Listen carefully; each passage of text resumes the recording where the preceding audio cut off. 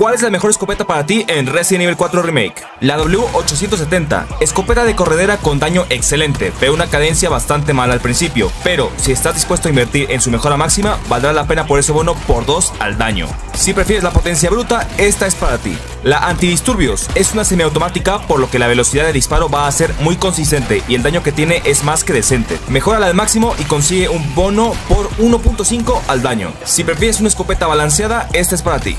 La Striker, una cadencia de disparos sin igual y un cargador muy amplio, pero esto a costa de tener un gran rango de dispersión, por lo que no haremos el daño que nos gustaría ver en una escopeta. Su mejora máxima le da 48 balas al cargador. Si prefieres la velocidad y tienes pólvora de sobra, esta es para ti. La Skull Shaker, escopeta recortada con un estilazo refachero, pero su limitado cargador es lo que le quita muchos puntos. Sin embargo, con la mejora máxima logra tener potencia por 2 extra. Si te gusta jugar con estilo, esta es para ti.